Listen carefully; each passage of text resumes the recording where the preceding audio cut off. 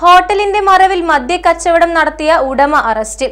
വിൽപ്പനയ്ക്കായി തയ്യാറാക്കി വെച്ചിരുന്ന ഉദ്ദേശം മൂന്നര ലിറ്റർ മദ്യവുമായാണ് ഹോട്ടലുടമ കുന്നത്ത് വീട്ടിൽ വിജയനെ അറസ്റ്റ് ചെയ്തത്.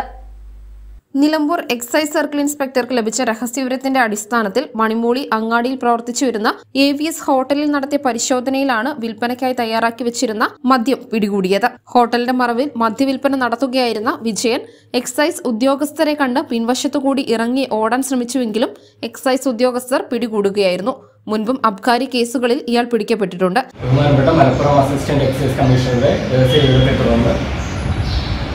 വഴിക്കടവ് പഞ്ചായത്തിലെ മണിമൂടി അങ്ങാടിയിൽ പ്രവർത്തിച്ചിരുന്ന എ ബി എസ് ഹോട്ടലിൽ നടത്തിയ റെയ്ഡിൽ ഹോട്ടൽ ഉടമ കുന്നത്ത് വീട്ടിൽ വിജയൻ എന്ന് വിളിക്കുന്ന വിജയൻ ഉണ്ണി അറുപത്തിമൂന്ന് വയസ്സ് എന്നയാളെ എക്സൈസ് സർക്കിൾ ഇൻസ്പെക്ടറുടെ നേതൃത്വത്തിലുള്ള പാർട്ടി പത്തൊമ്പത് ഒന്ന് ഇരുപത് രണ്ടായിരത്തി ഇരുപത്തിരണ്ടിന് ഉച്ചതിരിഞ്ഞ് അറസ്റ്റ് ചെയ്തിട്ടുണ്ട്. പരിശോധനയിൽ preventive officer M Harikrishnan civil excise ഓഫീസർമാരായ പി രാകേഷ് ചന്ദ്രൻ പി അഖിൽദാസ് എന്നിവരും പങ്കെടുത്തു. News bureau Nilambur